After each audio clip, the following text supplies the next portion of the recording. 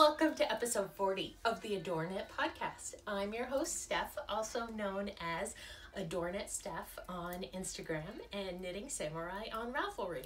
I feel like I should make myself a cue card because that was take three because I always seem to stumble on what my name is. It's weird because it's not like I go around as Knitting Samurai every day in my everyday life. So um, it's just hard to remember sometimes. So, how have you been? Oh my goodness. I intended to record a couple earlier in the week, uh, but it just didn't work out like that with the boys home and quiet time was falling in the afternoon and I'm really more of a morning person. So I just let it be until a day when I can make it happen in the morning. So, um, yeah, it's been month. It's like two weeks and I'm recording again. Okay, two and a half. But still, it's exciting for me to be almost where I used to be. Almost at 10 days. If you've been with me for a while, that used to be my um, catchphrase, catch slogan. See you in about 10 days or so. And I used to record that often, but I'm not so good with it now. And if you're wondering, hey, you said episode 40. Yeah, I've recorded under the um, Adorn, no, uh, well, AdoreKnit, yes, and Knitting Samurai and her guys, Knitting Samurai plus one, and Expectant Knitter. So I've had four different podcasts over 10 years time, I want to say. Yeah, because I was pregnant with Roland and he's nine, and I started in January, February. So that makes sense. so, wow, that's a long time. I'm getting hot already. We just started. Okay. so for today, I have um, a couple finished objects that you were, were started and finished. Um, I have some whips and yeah, I think that's it. Like, it's going to be a pretty concise show. I don't have a shop update going. I may, but well, I will between now and the next one, but next podcast, but I'm not I'm not put together enough to do that right now. And what else do I normally put in? I feel like I'm forgetting something. It's okay. I'll remember it as I go because I always do. so I'm going to have some pumpkin spice. This is, I don't remember the brand. It's a K-Cup pumpkin spice. I got from Amazon and I got a box, a huge box, like a 12 by 12 by 8 box of K-Cups of pumpkin spice. And so I drank them this fall till I was sick of them. and then I just put them in the back of the cupboard. And this week felt like a good time to pull out some pumpkin spice. And it's delicious again. Maybe that's why pumpkin spice latte doesn't last all year because they know that people will get tired of it. So let's see, let's start with this. This was a bed in a bag bag. Um, I'm not sure if I got the the bedding that came in this or if my mother did, but I have had this bag for 12, 13 years, a long time. And um, it's my scrap bag. So I put my fingering weight scraps in it. And earlier this fall, I got organized. And so currently this bag is scraps that have gone into, that have already been put into my cheer blanket. And then, so these are the bigger scraps, right? More than 10 grams. And then in these little baggies, this bag are, you know, like when you have a yard or two left over of a skein? Well, I've been rolling them into little balls as I have them left over. Just, I can't bring myself to throw them away. And sometimes it's a, it's a pretty good amount of yard that's amount of yarn that's left over. Not enough that I want to put it on, I want to keep it on my Ravelry stash page, but enough that I want to hold on to it and maybe it'll come in handy for color work, for an eye, for something. Or if I do a bits and bobs or habitation throw, some sort of um, two color, two stranded blanket knitting, I'll have these to throw in. So I have one ball that is the two ply hard twist that like Fiber Nymph Bounce uses, is. And then I have a second ball that is more the uh, four ply, more like um, Desert Vista Dye Works uses. T, it's not charged. I don't care. Okay. I'm gonna go charge it up. Okay, but you need to pay attention to your class. Okay, so that's what this bag is. This bag, I even labeled it for myself. This is no good for Advents. so these are less than 10 grams of yarns that have been worked in the blanket and they're in here. So this whole blank, this whole bag had been almost full up to the top at different points in my life it has been full but i embarked on a um, pigskin party on their january scrappy hat challenge.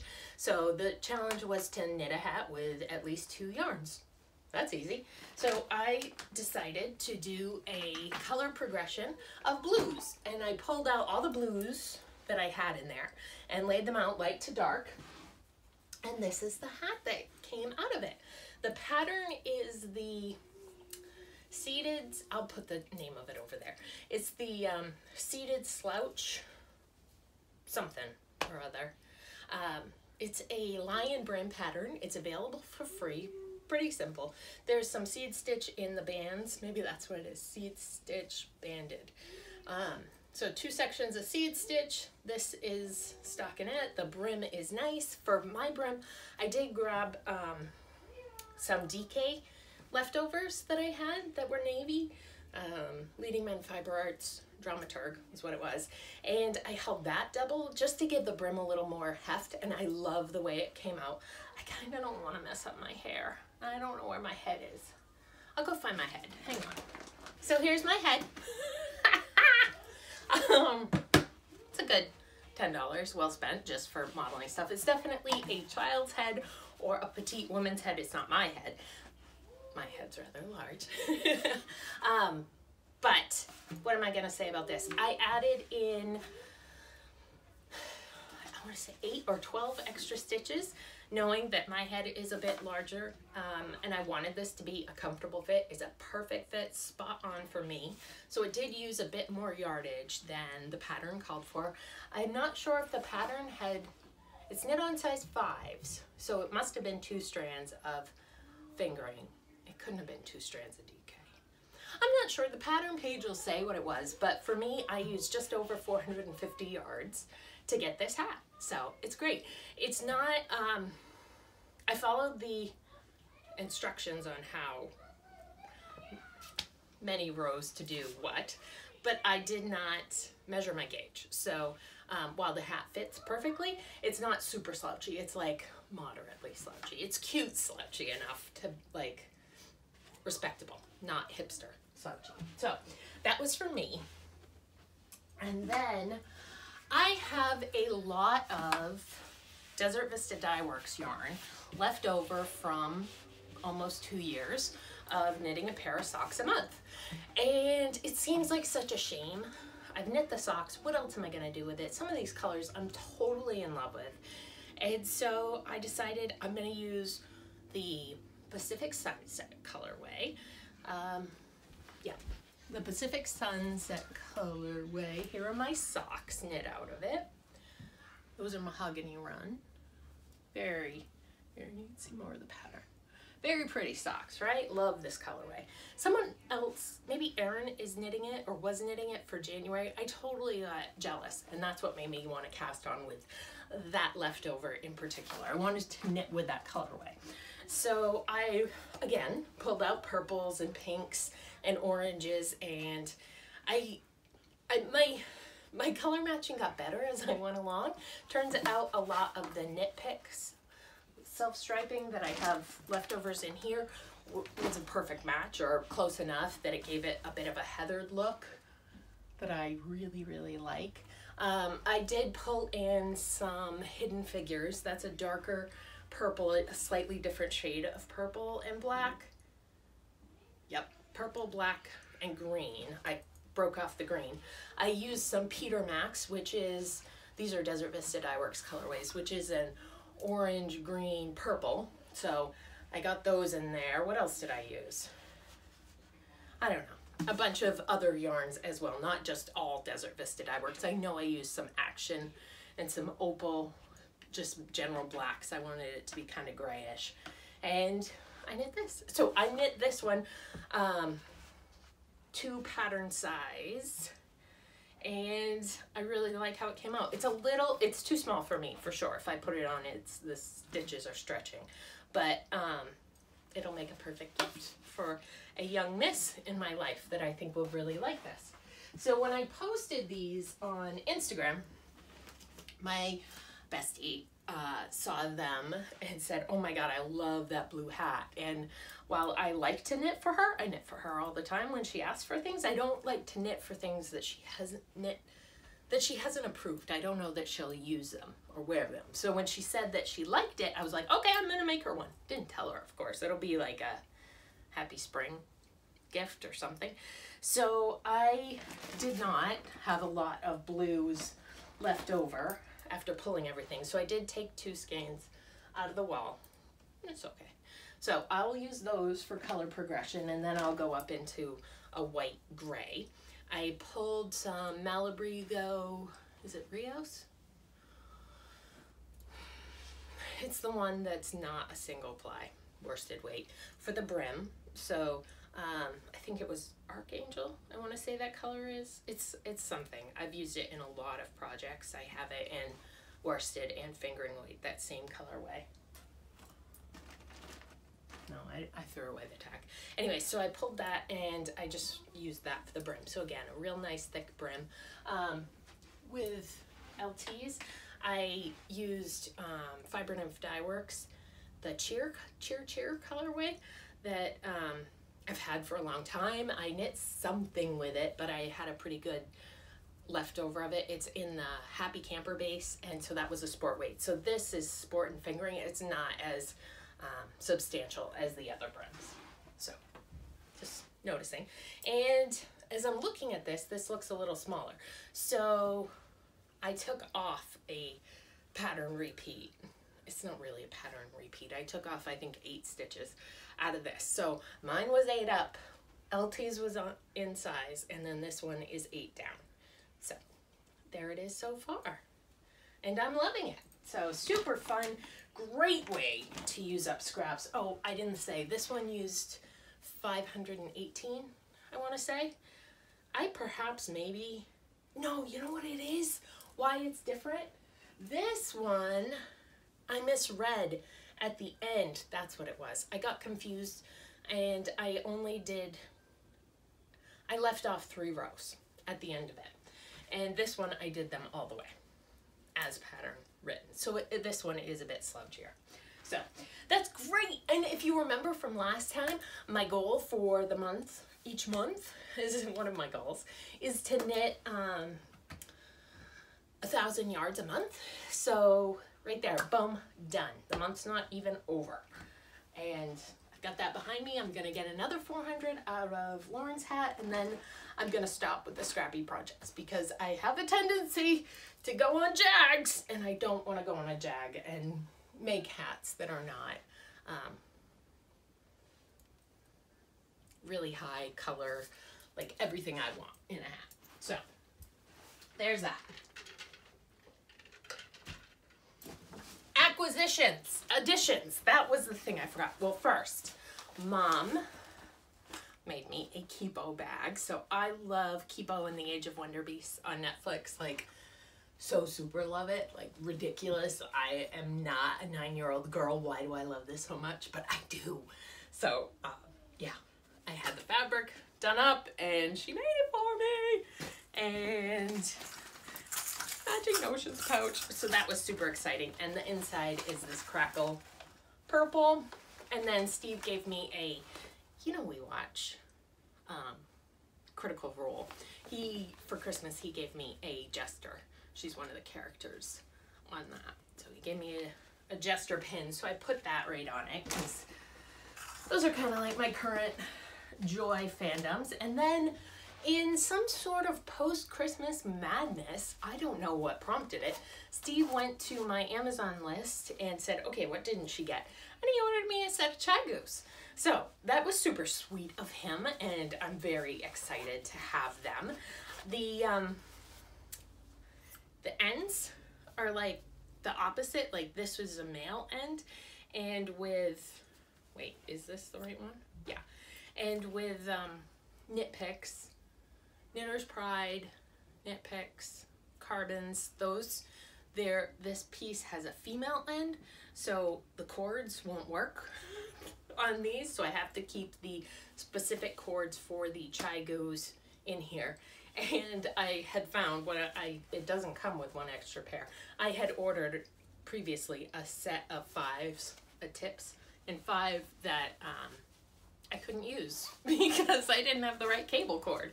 So now I do. It came with two, three, must be three because I'm using one, uh, cables and excuse me, some ring markers because you know I'm totally gonna use those. And what else? These. So I think these, this white bit is a cap to go on the end of a cord. Yes. So it's, it just looks different than what I'm used to. But I am loving this new case that it's so compact and it fits and it just travels uh, so much better than the, I've had my Knit Picks hard plastic one for 10 years. What's up, T? Need papers right. Okay. Good. Other thing I wanted to talk about that's not really an acquisition, but I am super happy to have it done. It only took us a full calendar year, which maybe we will work on the yarn wall every January. Uh, although it may be different now that all the pegs are in, because that's what I needed Steve for was the hand strength to put the pegs into the pegboards for the yarn wall. Woo! The yarn wall is done, except this section where Desert Vista dye work that I need to cake up goes. I was I planned ahead. I left it some space. So I'm super excited. I had made some holes in this wall through the year. So we filled them in with different colors. This wall is my would you like some purple yarn? Um, this wall is Indie Dyers. Mm, Yeah. it's a mishmash of everything. And we tried to have this color flow from reds to purples, blues, greens, and then dark at the bottom. And then on this side, because I love to talk about my yarn wall, um, we have my workhorse. So if you are new to knitting, workhorse is a toothy worsted weight, not worsted weight, fingering weight yarn that's worsted spun. So it's got a little bit of air in it. Knits up a little faster to me. And the stitches hook onto each other because it's got those fuzzies on the yarn itself that cause they kind of mesh together. Think about your hair when you have a knot in it or something. That's kind of, it's not knotted, but it's that concept of the uh, fibers sticking together. So that's my opal and my knit, opal, knit picks, Kroy. Those are the three right there. Knit picks, not so much. That's um, more of a smoother yarn. Uh, we tend, in my family, we tend to burn through those for socks. Uh, they're just a little too, I don't know if it's high micron count or if it's, they're too soft or if I'm not knitting them at a tight enough gauge. Could be. I am a loose knitter. I do knit socks on zeros. I'm not going down to double zeros. so there's that. Um, then there's my fiber nymph. So from like here down are the ones that are generally in the pigskin party and the splash pad party hosted by jen on Down Cellar Studios. Super fun knit alongs happen twice a year. I love them. I love the pigskin party a lot more than the um, splash pad party because it feels like i just have time to get into the flow and the rhythm with the splash pad party and it's over. So i prefer the longer knit along so um, yeah fiber nymph Sun Valley Fibers, Holly Press Fibers. I have a few skeins of her. And then this is all Desert Vista Dye Works and Tristan shoved this in there. That's so we did move his desk after we did this. Steve's been recording. You may see some of him recording. What are you doing? I'm trying to edit a recording Oh. With some semblance of privacy, but I see that's not going to happen. What's the recording? What's the name of the book? Stories of Siegfried Told to the Children Mmm. by Mary Macgregor. Okay. What culture is that from? Culture, I, it's a Germanic, what would you call it? Myth, folktale, legend, translated into English for young readers in the early 20th century. in this. Um, yeah, so we did move the table because Tristan's been sitting facing this way for school. And, you know, it's good. Feng shui or something to change up the way you sleep in your bed and the way you sit in your room and move your furniture. It's good for your mind. So we moved his table over that way and now he's sitting here with the yarn wall as his background. So he's, I had to tell him, he's in first grade and I explained to him that, you know, Tris, we have a yarn wall, and that's totally normal for us. But other people whose moms don't knit, they're gonna think that's weird. So you don't have to really go into a lot of detail. You can just say, "Mom's a knitter. This is yarn." But okay, it was the funniest thing. So Steve and I are in here. I did some time lapse video, which uh, I would have. I didn't spend enough time with the camera angle because it would have been very funny. Um, we started from the bottom up. That's how logically I could put it in my mind. Like I wanted to fill in with Fiber Nymph and I wanted Desert Vista on the bottom. And so, anyways, we, we pulled all the bottom, the bottom third of that off. And then we worked our way back up to make it neat.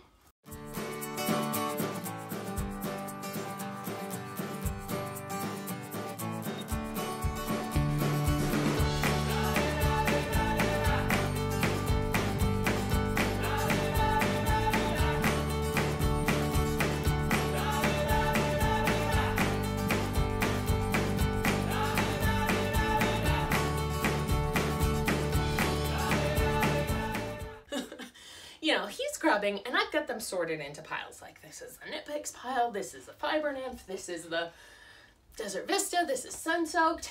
He doesn't know. And I have them sorted in piles, and I have them sorted by color because I want generally to have a rainbow to black, red to black on that wall. So he's grabbing things and he's putting them up where they make sense to go you know, color value wise. And at one point, I was like, that's a Knit Picks. Doesn't go there. And he's like, I don't know what a Knit Picks is. And I just thought that was the funniest thing because who other than a knitter's husband would scream, I don't know what a Knit Picks is.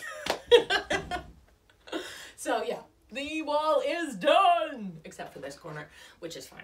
I need to have a caking day because yeah, and I just got my 12 year, 12 month coupon from Susan, Desert Vista Dye Works. So it's it's a free skein for completing a year and a significant discount, like 20 or 30. So usually I go through buy a bunch. Um, over here's a, here's a user trip tip.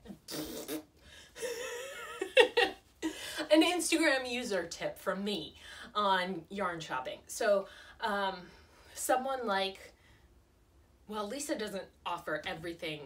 Fiber nymph doesn't offer everything in her catalog all at once but i will bookmark her stuff.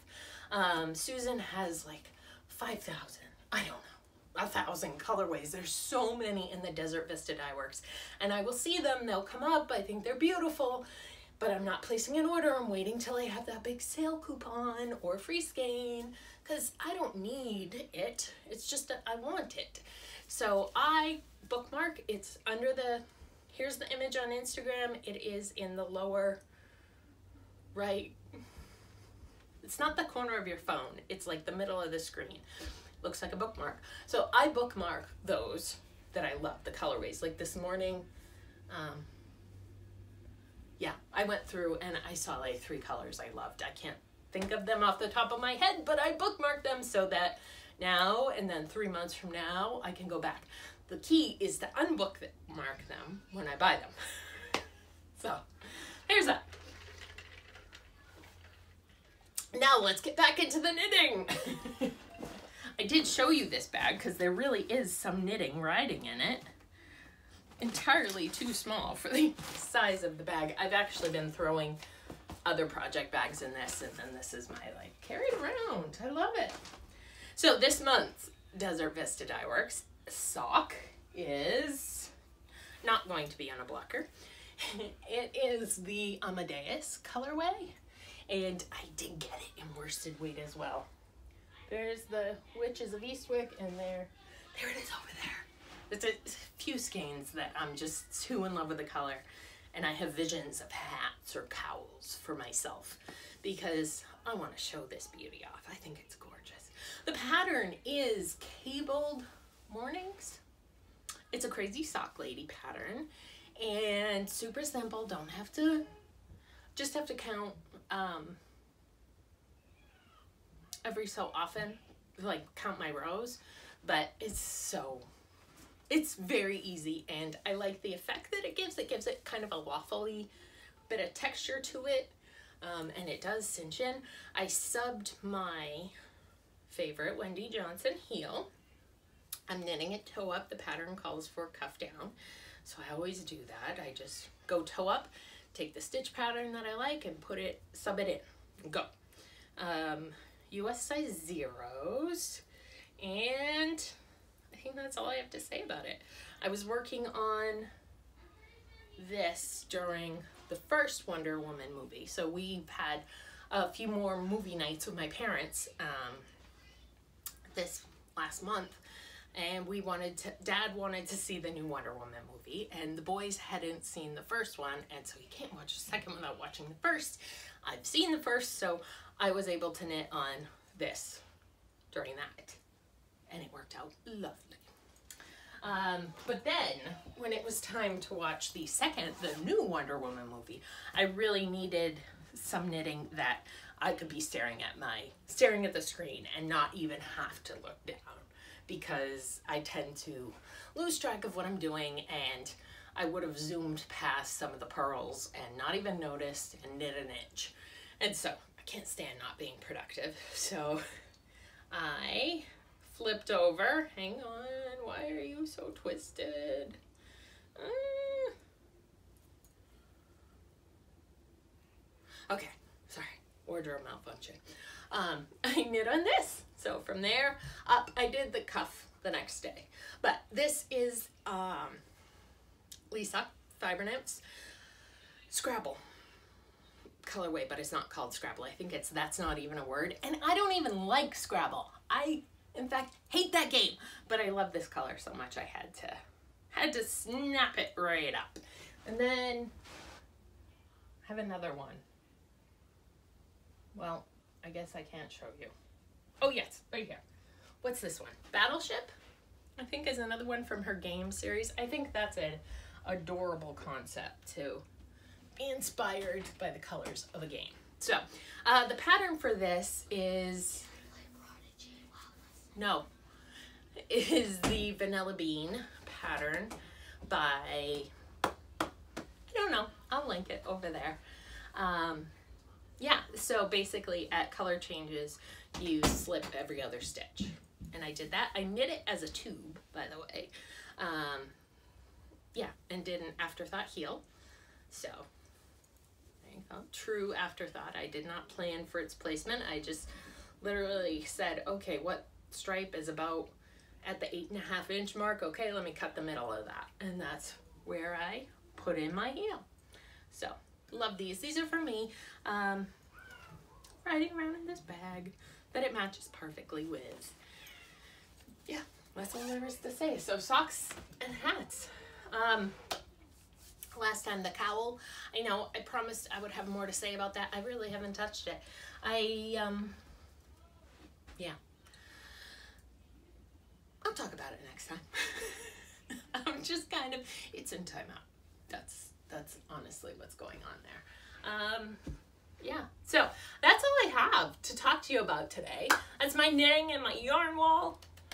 Next time I will share with you my crafty bingo update and whatever else has found its way onto my needles. So I hope you have a great till we record again, till we speak again, and enjoy what's going on in your knitting.